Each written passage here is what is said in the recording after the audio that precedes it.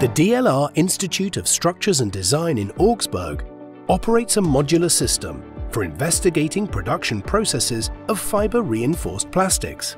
The centerpiece is a hydraulic press with a maximum pressing force of 4400 kN. The size of the press platens and a daylight of 1.5 meters enable a wide range of component geometrics to be processed. A heating and cooling system is built in to control mold temperatures a transport system and an infrared heating field have been integrated to investigate thermoforming processes. The latter consists of individually controllable units and is suitable for high-performance thermoplastics.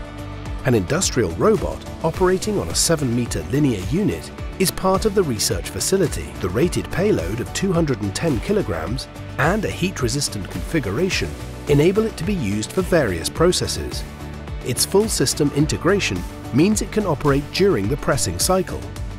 High transfer speeds and a plane parallelism control make it possible to further develop industrial processes with short cycle times and high tolerance requirements, such as co-molding.